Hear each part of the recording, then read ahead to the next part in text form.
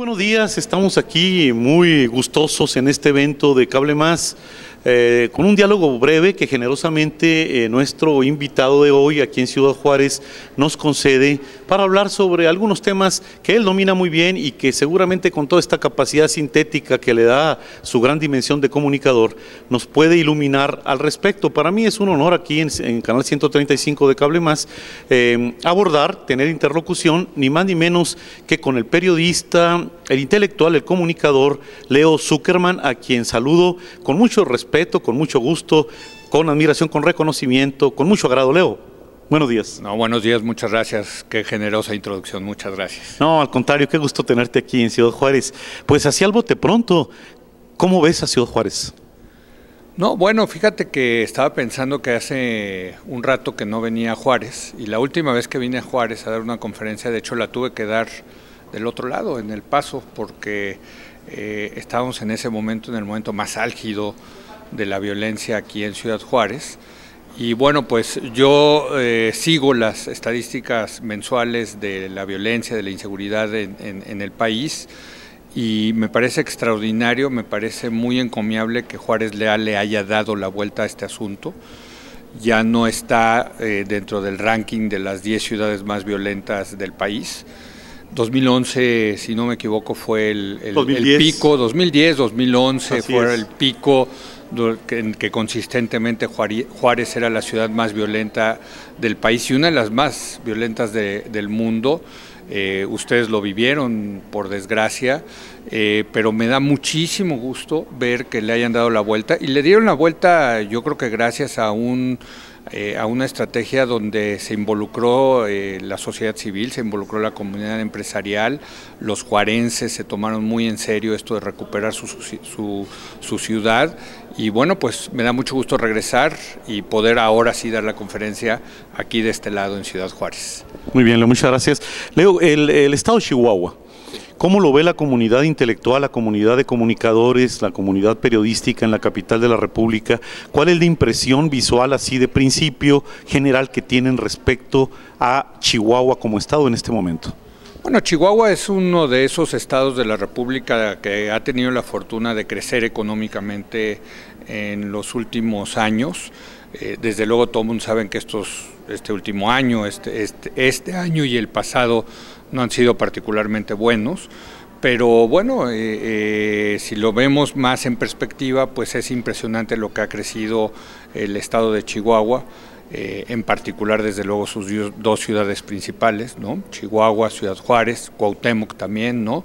y bueno, pues han sido de los grandes beneficiarios del Tratado de Libre Comercio de América del Norte y es una entidad generadora de empleos, es una entidad que desgraciadamente por el tema de la violencia se vio afectada también la economía, pero como lo vemos como una entidad echada para adelante, muy empresarial y que está creciendo a diferencia de otros estados de la República que no lo están haciendo. Leo, finalmente, eh, la, en términos de, los, de lo mediático, la cultura mediática, eh, creo que el país tiene tentaciones regresivas en algunos aspectos, este retorno del PRI y estas cosas eh, están dando algunos caminos especiales en términos de la, melancolía de los objetos de deseo perdidos de hace tiempo. En Chihuahua se da un fenómeno importante que es el servilismo mediático, no pocos medios están eh, cebados, aceitados o lubricados por la cuestión del dinero público. ¿Cómo afecta esto la transición democrática? Porque deforma la realidad, deforma la percepción ciudadana, ofende la conciencia en ocasiones inclusive, y en esa medida no, no permite la gradualidad del avance democrático. ¿Cómo juzgas este fenómeno del servilismo mediático? No, bueno, ¿qué te puedo decir? Es una de las cosas que desde luego nos preocupa en este proceso de consolidación eh, de la democracia eh, la verdad es que los gobiernos, y aquí estoy hablando del gobierno federal y los gobiernos de los estados, más los partidos políticos tienen mucho dinero, eh, dinero que luego reparten efectivamente, como tú dices, en los medios de comunicación para tratar de, eh, para tratar de comprar coberturas, para tratar de comprar opiniones. Y bueno, yo la verdad es que siempre le he apostado a la inteligencia de la gente, de saber eh, pues qué es lo que hay que ver, qué es lo que hay que leer, qué es lo que hay que escuchar versus las otras opiniones que más bien están sesgadas y están sesgadas comercialmente. pero de que está ahí el peligro, está ahí el peligro.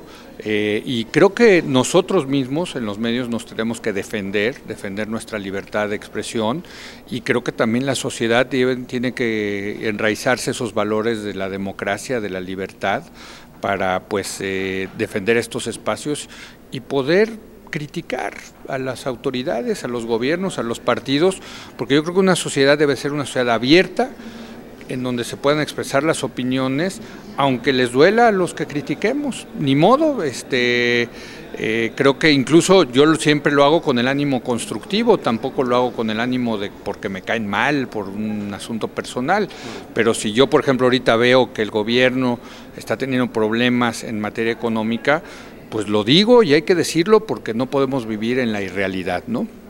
Muy bien, pues con el placer de platicar con Leo Zuckerman eh, para Canal 135 de Cable Más, estaremos eh, dándole seguimiento a este diálogo muy, muy importante, tanto en el noticiero como en la conversación de mesa política, y seguramente volveremos a contactarlo para que nos ilumine con su inteligencia, con su saber, con su capacidad crítica, como usted lo pudo observar en este breve intercambio, en este diálogo breve, pero muy sustancioso. Leo, un placer. Hombre, muchas gracias. Fíjate que la última vez recuerdo aquí en este salón haber eh, comido con don Carlos Montemayor, que era un orgulloso juarense, ¿no? Era de aquí de Juárez. Parralense. Era de Parral, tienes razón, pero era de Chihuahua, era muy orgullosamente de Chihuahua y este desgraciadamente se nos fue, pero en fin, me, da mucho gusto estar aquí con ustedes en Ciudad Juárez. Un placer, bienvenido. Muchas gracias, Leo. Gracias. Muchas gracias.